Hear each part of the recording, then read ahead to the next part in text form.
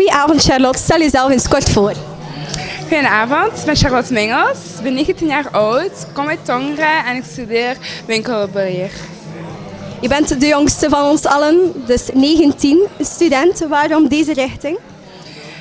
Om eerlijk te zijn, gewoon, ik heb die richting gekozen omdat ik heel graag shop. En dat is gewoon, die richting is om snel door mijn diploma heen te gaan. Dus hoe snel ik mijn diploma heb, hoe snel ik kan verder studeren. Daar. Shopaholic? Een beetje.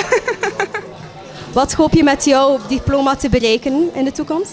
Met mijn diploma te bereiken, ik wil later stewardess worden. En ik, ik had een soort diploma nodig voor die opleiding te volgen, anders kon ik geen stewardess worden. Stewardess, dus dat wil zeggen ook van de reizen houdt. Wat is je favoriete reisbestemming? Mijn uh, favoriete reisbestemming zou Hawaii wel zijn, want het lijkt me zo tropisch, kei mooi. Ook het cultuur wat er is, vind ik echt wel heel mooi. Dus daarom. Hawaii en een shopaholic. Ik hoop dat de vriend dan toch wel enkele creditcards heeft. Twee, onder andere. Twee kan toch al voldoende zijn. Waarom doe je mee aan deze misverkiezing?